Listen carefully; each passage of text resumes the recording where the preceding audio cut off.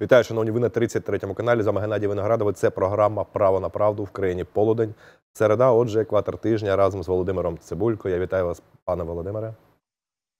Вітаю, слава Україні! Героям слава. Пане Володимире, слухайте, давайте знаєте, що мені цікава ваша думка трохи з цієї історії. Вибори вибори в Російській Федерації. А як тепер от Путіна потрібно називати?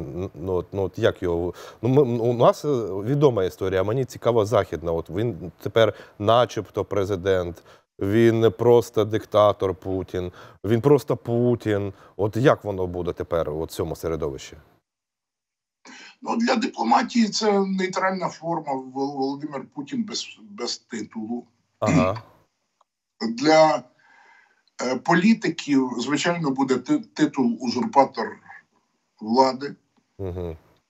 Е, тобто, е, по суті, е, Лукаш, е, ну, Путін цим жестом, е, по суті, урівнявся із Лукашенком.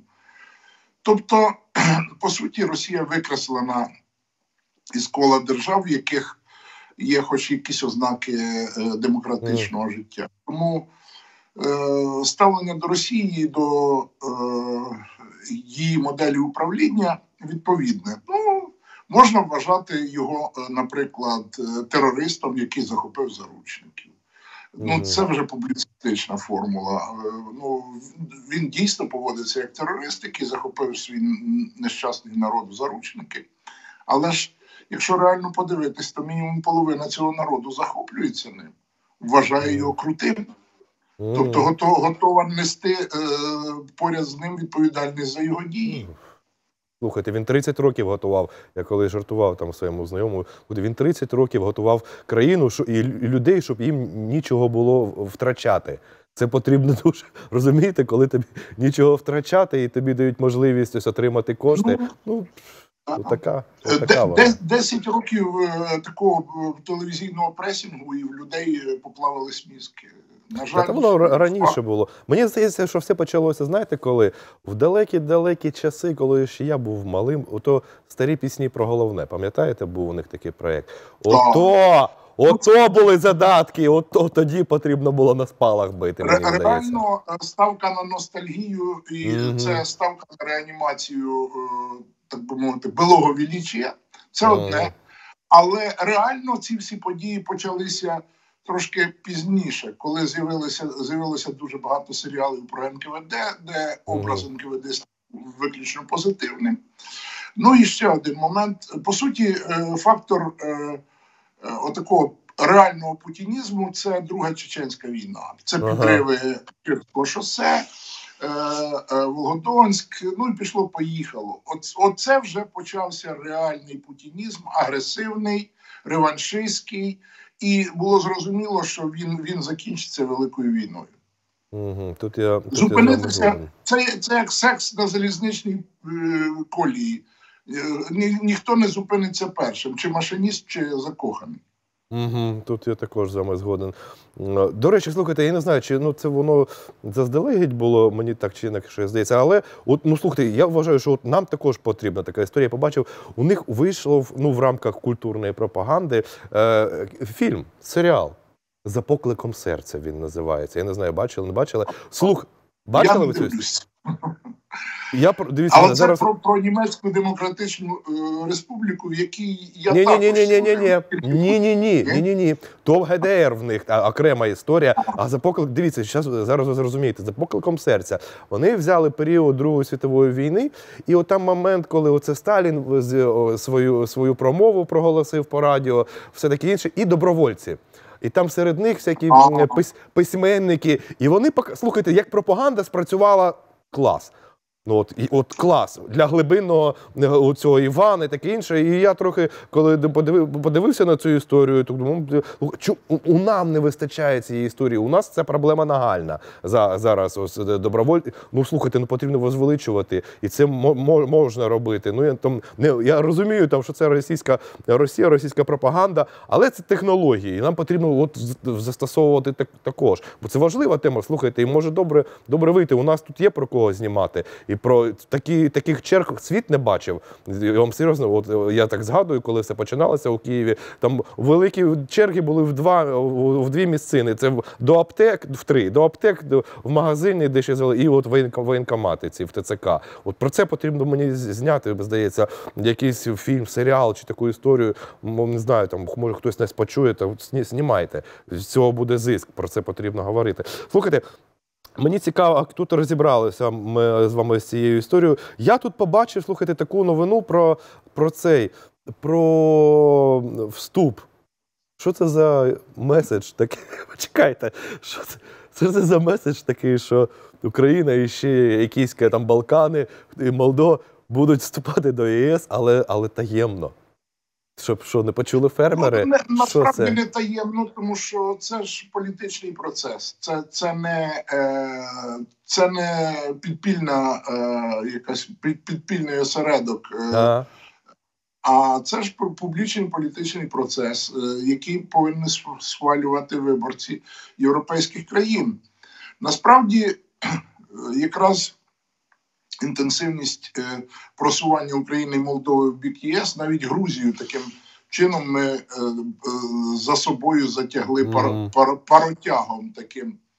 І от е, зараз, е, як відомо, Україна має домашнє завдання, але оскільки почався, почалась підготовка інтенсивна до виборів до Європарламенту у Євросоюзі, то українська тема, мабуть, трошки привщухне. Е, зараз дуже серйозно Європу качають через оцю зелену ініціативу е, е, Єврокомісії, тобто зміна правил аграрного господарювання.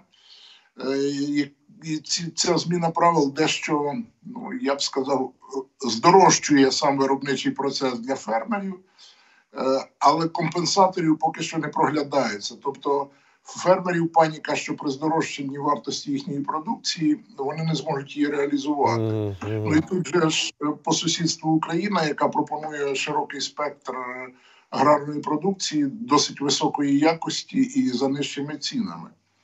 Тому е, цим хтось грамотно маніпулює, але мені здається, що маніпулює все ж таки в інтересах Е, оцієї виборчої кампанії в Європарламенті. Тому видання політико європейське справді опублікувало е, своє таке дослідження про те, що е, Україна дуже активно, скажімо так, під килимом зближується з Євросоюзом, і може трапитись момент, коли ну ось ось вона Україна в Євросоюзі, тільки можливо буде якийсь перехідний адаптивний період. Треба нагадати, що е, чому чому політики європейські так якось тихіше про це говорять? Бо Україна в разі набуття членства отримує зразу величезний грант. Ага. Він обраховується в сумі приблизно 186 мільярдів. От мені чомусь запам'яталася ця цифра. Ого. Звідки її е, промалювали, я не знаю. Але тобто під 200 мільярдів Україна отримає грант на е, інтеграцію інфраструктури України приведення до стандартів Євросоюзу. Mm І це означає, що інші країни, які розраховували дещо ну, перекласти п'ятий раз бруківку в себе, ага, ага, е, не перекладуть. перекласти чотири рази, а не п'ять найближчими роками. Але українська інфраструктура е, дуже швидко стане європейською, тобто дороги, е, освітлення вулиць в селах, тротуари, е, сільські дороги. Mm -hmm. Е, далі енергоінфраструктура.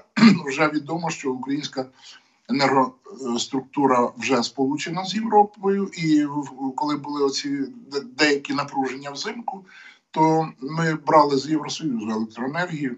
А і давали. При... Та і при наявності надлишків наша електроенергія йде в Європу. Я коли чую про надлишки, слухайте, я коли чую, що у нас є надлишки, Мене Є трохи тіпає. Трохи. Покажи людей, я не до людей дивлюся, от не як вони ходять, от що, що до, до речі, е, Ой. за час війни Україна ще зробила один сильний жест. Це е, фактично е, початок інтеграції нашої газотранспортної мережі в європейську. Ага, бо так. саме наші підземні водосх... газосховища цього року були європейськими газосховищами. Євросоюз закачав туди резерви, зберігав, оплачував Україні. Україна отримала на цьому гроші. Можливість випадку там е, якихось е, екстремальних умов брати цей газ. Е, до речі, цього року Україна обійшлася газом власного видобутку. Це теж так. Ну, оскільки індустрія не жерла в таких обсягах, газохімія майже не працювала у нас в великих обсягах. Тому але для для комунального господарства нашого газу вистачило. І ще важливий один момент. Е, багато, ну не багато, але ряд таких поважних американських е, е, нафтогазовидобувних компаній включаються в роботу в Україні.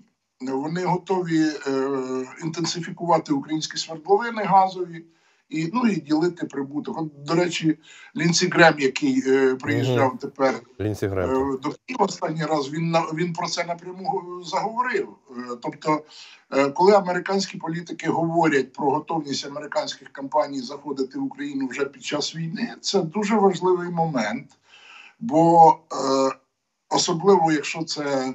Ну, я б сказав, транснаціональні корпорації, з американським капіталом, то сваритися з ними Росії дуже невигідно, оскільки.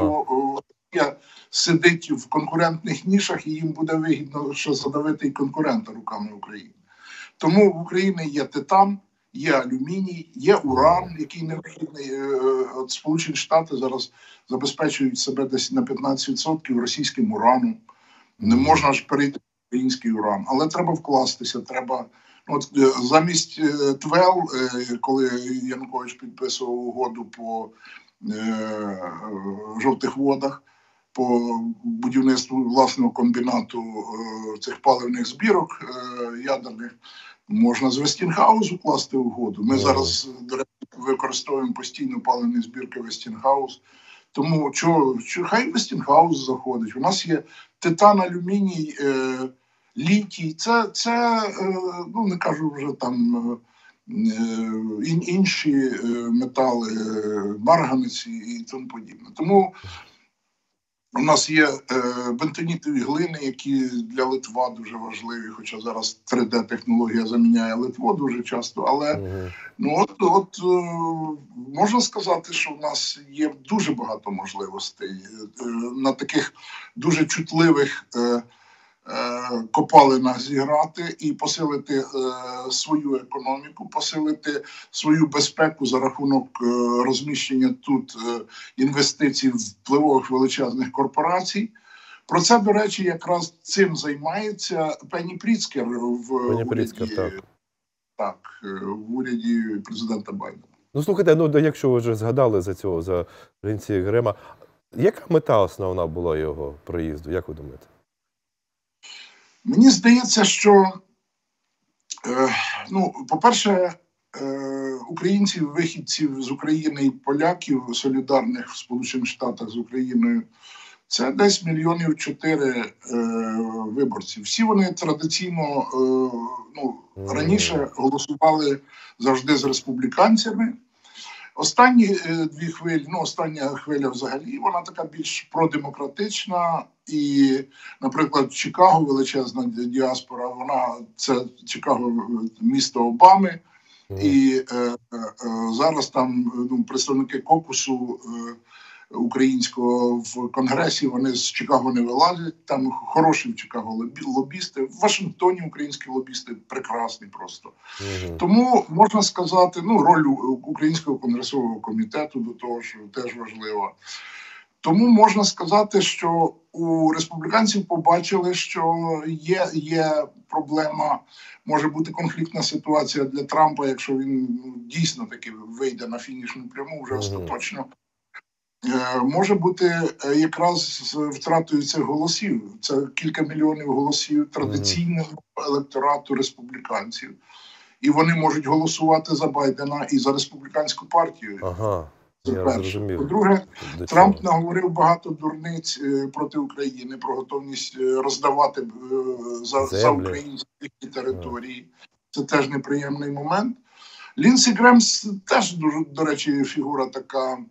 Він завжди е, ну, на словах був жорстким прихильником України, але приїжджав додому і голосував так, як йому наказує Трамп. Ну зрозуміло, що він, він член, так би мовити, політичної корпорації і діє в інтересах корпорації. Але мені здається, що тут якраз трапився такий дивний випадок, коли Лінсі Крем спробував перетягнути на себе е, е, ковдру головного перемовника від республіканців із Україною. Є така. І, є до така речі, та, в, цьому, в цьому сенсі можна було би погратися правильно, тобто підтягнути ще кілька республіканців зараз з візитами в Україну. І, ну, бо, бо всі вони розуміють, якщо Україна, е, ми ж прекрасно знаємо, Україна є фактором внутрішньої політики США. Так, Е, е, чому? американці, під, та, е, е, американці підтримують е, допомогу Україні, але вони ну не готові відправляти війська. Але допомогу підтримують масово. Принаймні половина опитуваних стабільно підтримує е, е, Україну. Тому е, залежно від е, густини, так би мовити. Е, е, Вболівальників за Україну в тому чи е, іншому виборчому окрузі політики е, все одно мусять цей фактор України використати. Ну тобто сфотографуватись біля українського прапора, бажано в Києві. Я зрозумів логіку. Я, я окей, дійсно на тлі виборів цих історій, але яскравіше за все ну, людям запам'яталося, що там ну, це в новинах пушать. Це, це 20 плюс про мобілізацію, що він висловився. Я тільки вчора спілкувався з експертом. У нього така версія була цікава. Він каже: ну слухайте, ну от. Буде, не буде, колись буде. Він каже, рано чи пізно Анта- Антанта буде війська свої заводити. Так ось що він каже: слухайте, що ну от на тлі цієї історії, що в Сполучених Штатах, в інших країнах там вік, вік військових 20 Розумієте? А у нас 50 І от для того трохи незрозуміла ситуація, коли починаються розмови про західний контингент, про війська. Ну слухайте, їхні хлопчики приїдуть захищ... е, по- поряд з нашими, ну давайте так, мужиками, мужиками 50 плюс воювати, ну якось воно не стикується. Тому ну така у нього версія, що давайте якось вирівнюємо цей баланс. Що думаєте, Погано, може? коли не військова людина починає видавати рекомендації військовим. Ага. По-перше, техніка, яка в нас була доступна, цією технікою переважно вже на цій техніці були підготовлені е, е, е, ті, хто служив або в радянській армії, або в перші е, 20 років незалежності на радянській техніці.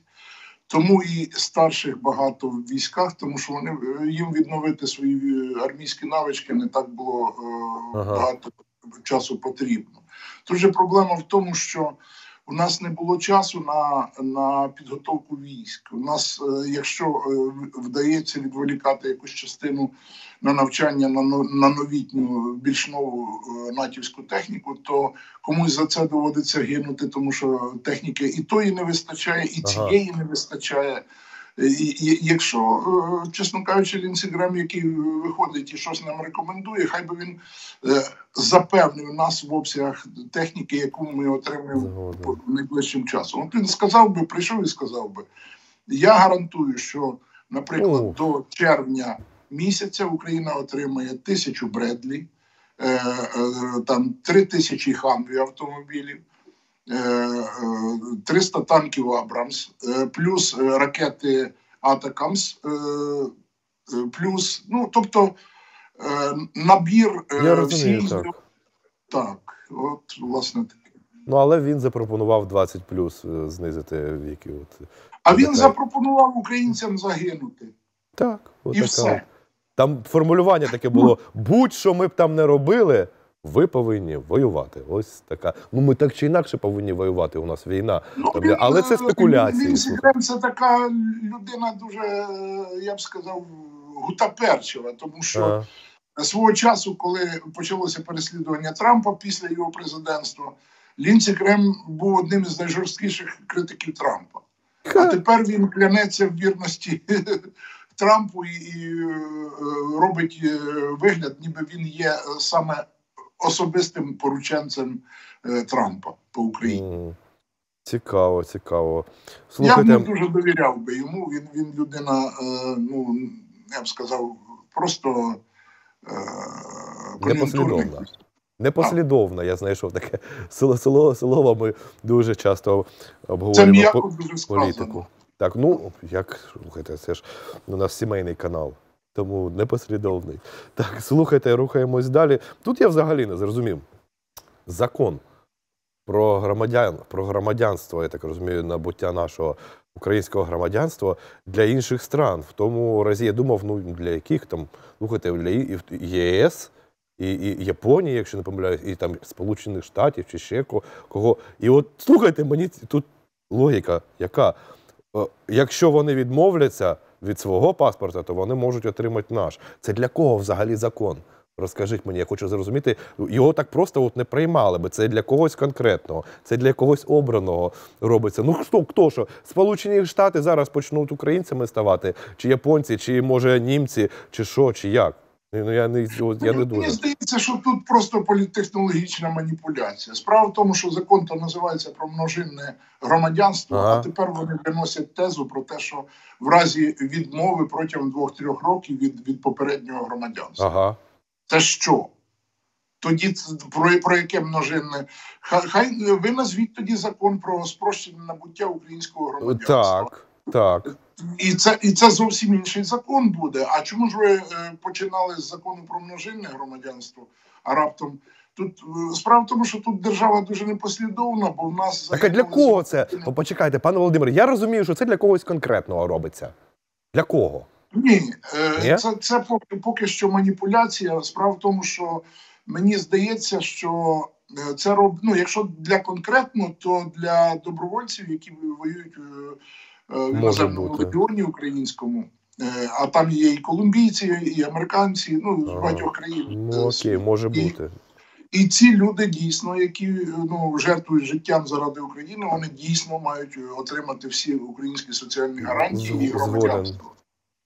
Але ж держава не, не поспішає надавати їм громадянство, навіть е, коли вони прийняли присягу і вступили в боротьбу. Тобто, я, я наприклад, вважаю, що якщо е, воїн прослужив е, в іноземному легіоні е, рік, він має вже автоматично набути громадянство українське. Угу. Тоді, тоді, тоді справді ідея множинного громадянства вона пояснима. Тоді ну при такій жертві заради України, хіба правильно, що держава українська почне вимагати з людини, яка захищала Україну, відмову від його попереднього громадянства без його особистого бажання? Це, це неправильно. Неправильно. Окей, ну дійсно. Дійсно, добровольців це стосується. Що ще? Ну почекаємо, побачимо. Я все-таки зі своєю параною, мені здається, що це якась, я не знаю, це. це є, є, є окремі обр, обранці долі, і це для них ось історія.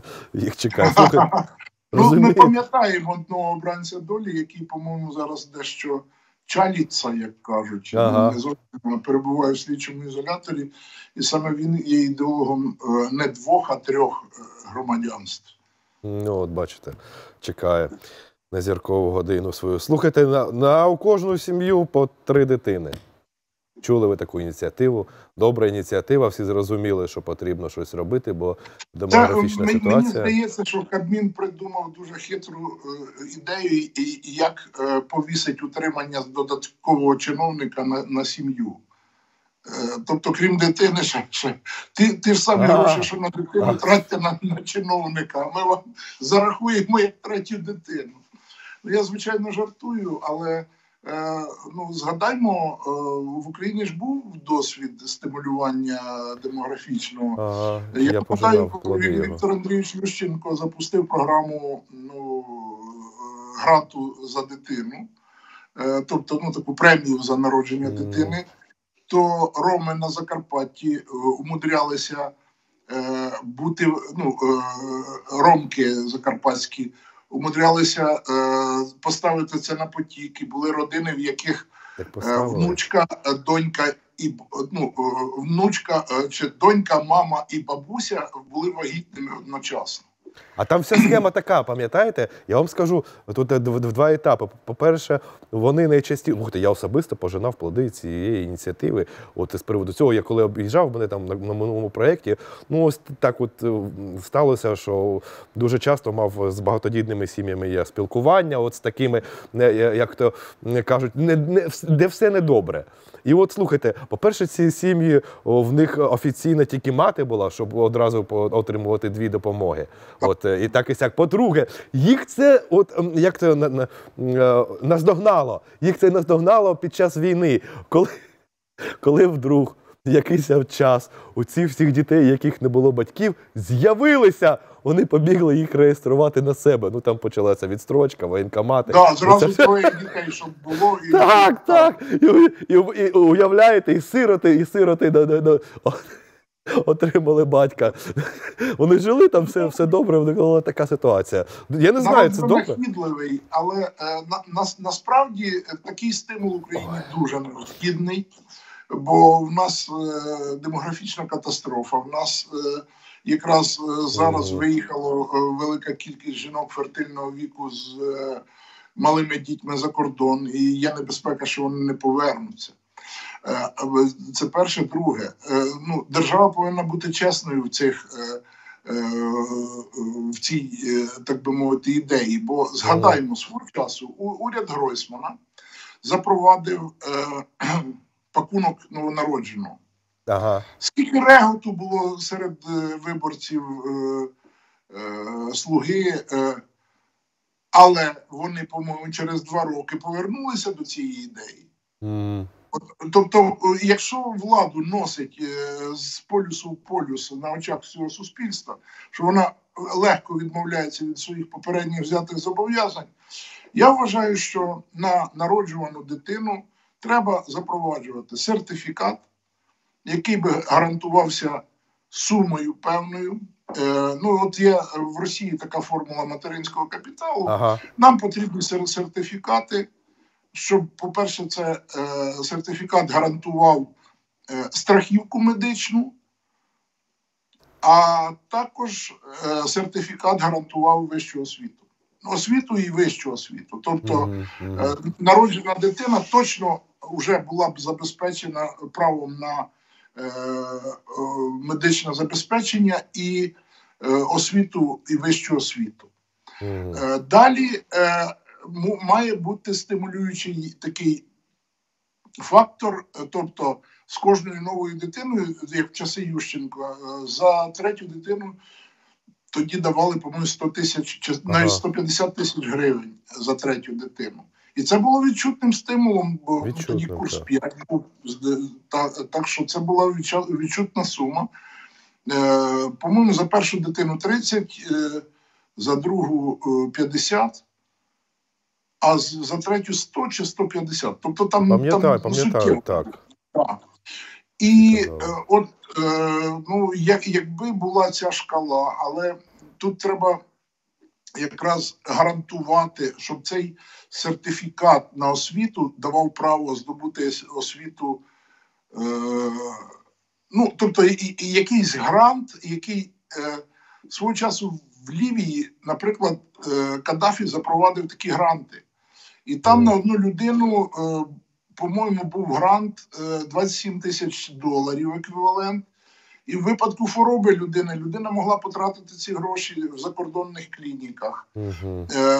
В випадку навчання е, ну, студент міг потратити ці кошти на освіту навіть в європейських університетах закордонних. Тобто, якщо зробити таку модель, але головне чесно, бо ми бачимо, Чесно, коли уряд так. так, уряд виходить з ініціативою стимулювання дітонародження.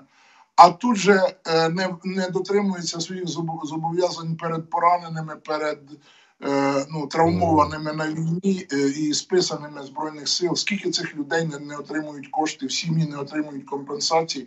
А найголовніше, найголовніше, що ну, багато людей просто почуваються непотрібними. Вони не можуть ні працевлаштуватися. Тут навіть Росія вже яка вона здичавіла не була, але вона запроваджує квоти для бізнесу, щоб е, стимулювати якось е, ну, військових. Задіяти їх потрібно, так чи інакше. Ми про це говорили. Це буде проблема. Зарплату, щоб вони мали ж... кусок хліба. Ми ж слухайте, ми ж про це говорили. Це криміналізація буде так чи інакше. Якщо виштовхувати в цей бік, в цей бік, то про це заздалегідь потрібно. А там взагалі в Російській Федерації їх, ну слухайте, як там частку велику з тюрем взагалі витягнули. Ну вони вже ну, були криміналізовані. Що коли коли люди почнуть е, е, почувати себе непотрібними, то вони mm. почнуть робити все, щоб держава їм була непотрібною. Тобто вони будуть е, демонтувати державу, бо вона так, їм заважатиме великий... тоді. Це великий фактор ризику, дійсно. Бо будуть домовлятися, і це буде і це буде от пронизувати ще більше і більше всю цю історію там з корупціями. Коли розмовляємо з вами, слухайте, ну це моя параноя. Ми добра ініціатива про дітей. А я вже а я малюю собі старі схеми. Як там знаєте, там ну там я як вкрасти в дітей. Ну ну слухайте, 33 мільйони способів вони знайдуть, як придумати там списки дітей, які народилися, але яких немає насамперед ніде, і таке, і таке інше, і таке інше, і ці сертифікати. Я не знаю, як це контролювати. Розумієте, що довіра. Я от вам присилав, бачили, я вам присилав таку ситуацію по Хмельницькій, по Хмельницькому. От така ситуація. Люди нікому не вірять. Ви розумієте? Нікому. Я не знаю там про які рейтинги, хто мені буде розповідати. Я ось подивився там, які рейтинги люди нікому не вірять. Вони такі роздратовані. Так саме влада влада зруйнувала цю єдність, яка була після 24 лютого. Вже подивимося, коли почалися скандали з Резніковим, з Міноборони, коли е, спочатку медійники і політики мовчали. Багато хто знав про, про те, що твориться, але мовчали заради того, щоб щоб встояти перед е, агресором. Але коли вже на вулицях Києва раптом масово почали з'являтися дорогущі автомобілі, всі зрозуміли, що грабують країну під час війни, так ага. як і, і без війни навіть ще більш інтенсивно. Угу. Тут тут біда. Слухайте, Конституційний суд. Продовжується ця, ця історія. Шабаш, так дивлюся періодично цих кандидатів. І ще раз задаю собі питання: а як ці люди працювали на попередніх? Там що, я не знаю, ну от інша якась робота, там також вони судді, також щось роблять. І там не потрібно це все от враховувати і оці весь весь треш, який там вилазить на це це, це норм норм? Не потрібно, бо е, взагалі-то юридична освіта, особливо е, прокурорська і суддівська, вона була завжди, вона корумпувалася одна з найперших, і вона е, через корупцію е, зайшла просто у, так би мовити, депрофесіоналізацію. В конструкцію Це, саму. Е, ага. Дуже багато е, ну, кваліфікованих досвідчених юристів з хорошою освітою зразу говорять, що це по суті принтери, ну, нове покоління е, юристів це принтери, які копіюють чужі рішення, переписують слово слово, букву в букву. І їм нічого не треба заморочуватися. з цього. Так, окей, слухайте, Тому... доля яка Конституційного суду? Що то я і хто його очолювати будуть? Я там вже дивину таку ну, дичину чув. Нагадаю, що суддя Конституційного суду обирається на 9 років, призначається, контрактується, отримує величезну зарплату. Свого часу це було навіть десь в районі 15 тисяч доларів. Ой-ой-ой.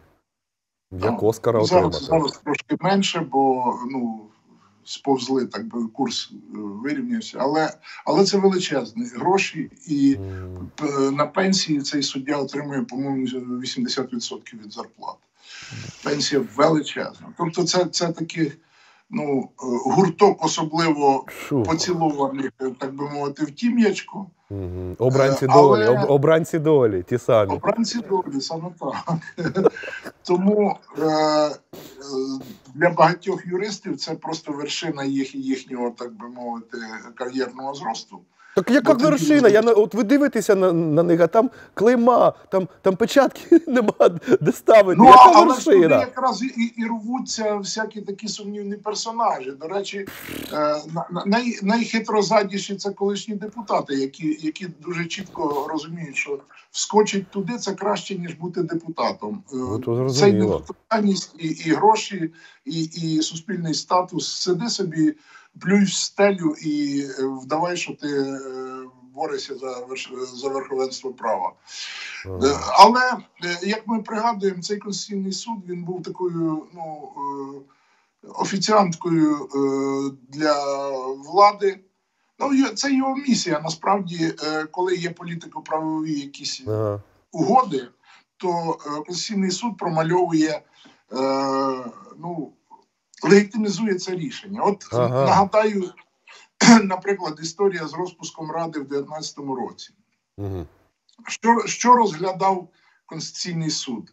Не факт розпуску, а розглядав право президента на розпуск. Правильно, право таке є. Тільки є крім права президента, а це, це ж е, е, це все е, ще обставлено купою законів. Не можна оголошувати позачергові вибори в рік чергових виборів. Але ж цього, цього рішення ми від Конституційного суду не почули. Тобто Конституційний суд насправді дав, дав таке рішення, яке, е, е, ну, яке трактує право президента на розпуск ради. Все. Але не, не в цьому конкретному випадку. А це, це було б реальне порушення Конституції, тому що в рік е, поточних виборів оголосити позачергові вибори це дикість. І за це хтось має відповісти. Окей. Е, Слухайте, чули ви, да, там депутат Демчишин, якщо я не помиляюсь. Так, Отут, почекайте, тут і знову це моя улюблена, це моя улюблена рубрика, коли намагаються от обійти закони фізики, закони от е, миру. Тут логіка, звичайно. Ну що він каже? Каже, що диктатура ось нам дуже допоможе, і за рахунок неї ми можемо виграти війну. А я собі так думаю, слухайте, а як мала диктатура може велику перемогти? Ну це ж нелогічно. Чи я щось не враховую у цій ось е, Ну, історії? це ж сама, сама їхня подружка Мар'яна Безу... Безугла. Без угла. Е, е, сама розповідала, що маленька радянська армія не може перемогти велику радянську. Ну, я от во, от тут. Але е, тут ситуація в тому, що треба ж розуміти е, перед, е, ну, перед вирішенням яких завдань стоїть банкова. І депутати це відчувають, що е, ну, Зеленському б не зашкодило трошки диктатором бути. Ну куди вже, куди вже більше? У нас, е, по суті, е, ну, Повнота влади. те, що відбувається на вулицях, бійки е, представників ТЦК. Слухайте, а ви просто- бачили? Я, я тільки не знаю, от село Полтаві. якесь. Що там якесь десь село якесь, відбу... якісь постріли, на оточення. Там, та, це на Це бурштин, чи це що це? Чи це ТСК? Та Справа в тому, що це ж і люди, це ж конфлікт людей, які воювали, е, і ті, і ті воювали. От Ага. в, чому, в чому проблема.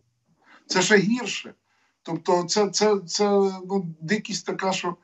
Але ну, от в Полтаві черговий випадок, просто віддубасили хлопця на вулиці. Ага. Ну, я розумію, що у військових своя така ну, ем, Метода. швидка реакція на, на е, приниження або на е, загро- загрози, військовий просто починає битися. Це ну він так заряджений, і Мгм. багато цивільних речей не розуміють.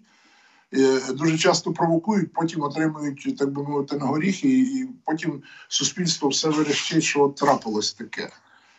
Ага. Тобто, але але ж все-таки е, ну не можна ж е, зовсім переступати через конституцію і просто е, о, влаштовувати облави на вулицях міст на людей. Ну це, це ж виглядає зовсім дикість. Та це дикість, воно Це- але цих, цих би облав не було, якби, е, якби влада була чесна. Е, Якби влада сама не роздробила, так би мовити, цю єдність е, і не зробила дохідною посаду в центрах комплектації. Е, Зараз що не звільнений з ТЦК, е, аналізують декларації мільйонер гр- гривневий. О, я бачив, бачив ці історії. Там взагалі декларації вражають. У когось там, слухайте, по 500 ділянок. По, п'я- 500 ділянок. Там пів, пів України йому належать. А він якась сіра, непримітна, там така.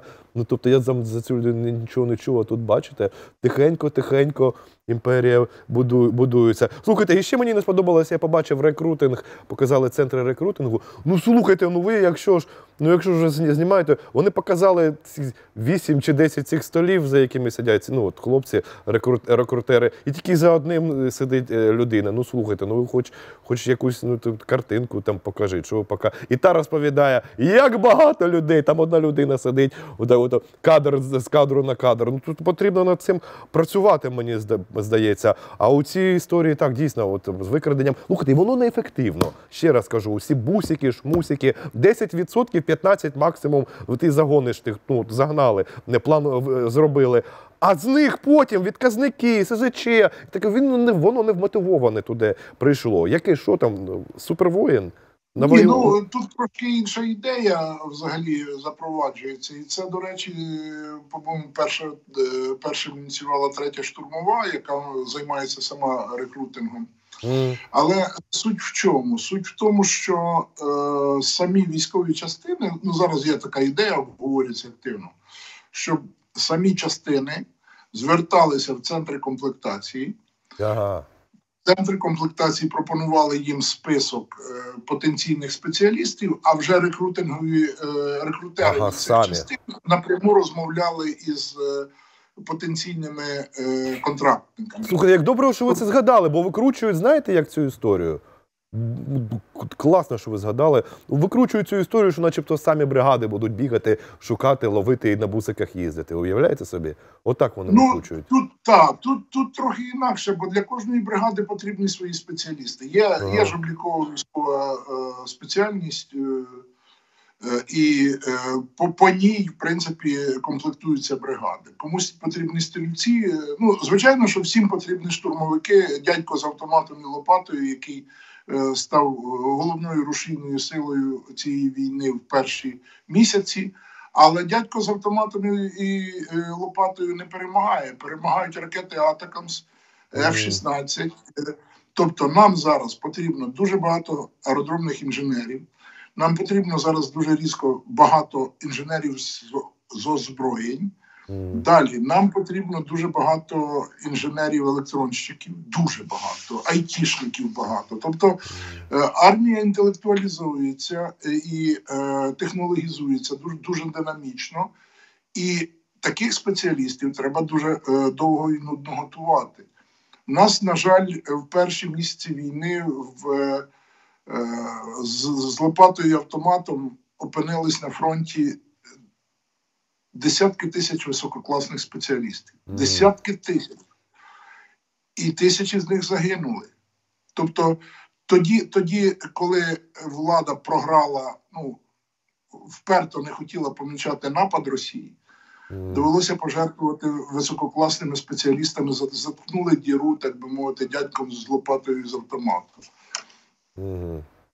Тут я згоден з вами. Так, пане Володимир, ви з нами? Ми не бачимо вас. Так, так. Наостанок, пане Володимире, цікаво. Час у нас майже вийшов, але мені цікаво все одно. Слухайте, я таки не зрозумів там щось з цими перемовинами. Там Сі Цзіньпінь їде до Макрона, там Ердоган зіскочив.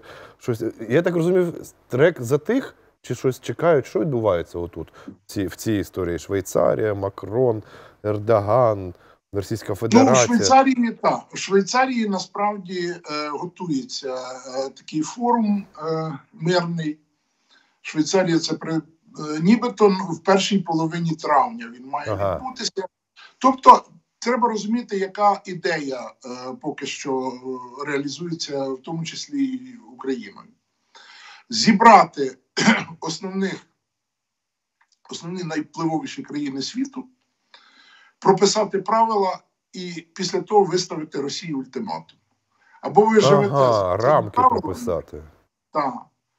Тобто е, правила гуртожитку, так би мовити. Ага. Або ви живете за цими правилами, або ми всі вас знищимо просто. Ми, ми вас е, обрізаємо всі технологічні контакти, обрізаємо е, фінанси, обрізаємо постачання, ну і, і доступ до ринків. Все.